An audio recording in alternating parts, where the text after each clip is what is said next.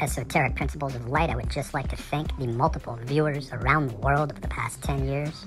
Thank you so much for making this esoteric truth seeking expression, investigation a reality.